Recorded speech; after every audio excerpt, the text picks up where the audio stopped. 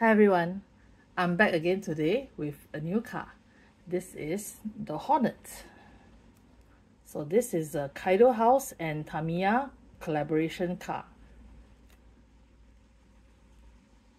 So this Hornet design is on the Nissan Skyline GTR R34 and this is the box that it comes in. Hmm, nice big Hornet logo here. Okay, I'm gonna open it up.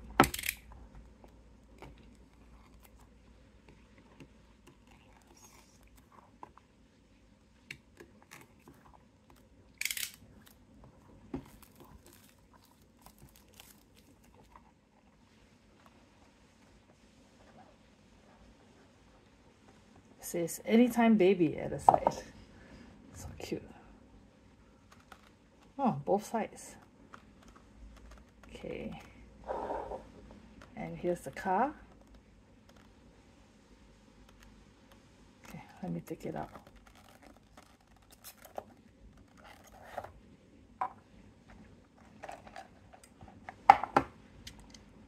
Okay, wow.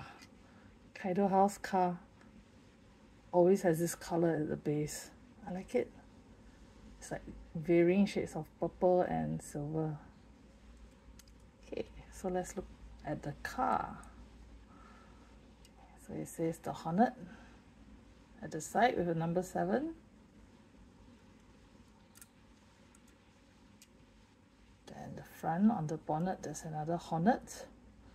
Even the windscreen has the word the Hornet. The side mirrors can move, so be careful. I'm not sure if they are breakable yeah. They have the Tamiya logo behind also. And the Kaido house. Oh okay. You can see it says Kaido house at the bottom here.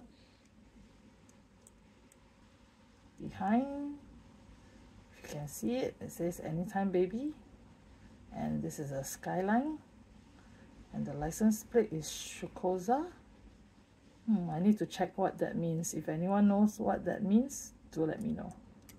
Okay so I know that anytime baby is one of the slogans for Tamiya. Okay so it took me a while to open the bonnet the catch for it is quite thin so there's only a little gap earlier on. But if you can see the details of the engine inside it's really nice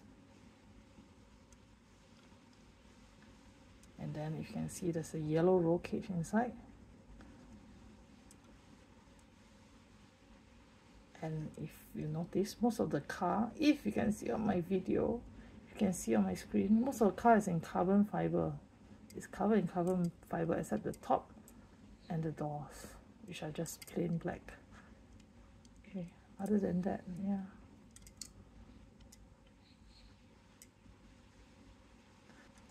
so this is the Hornet.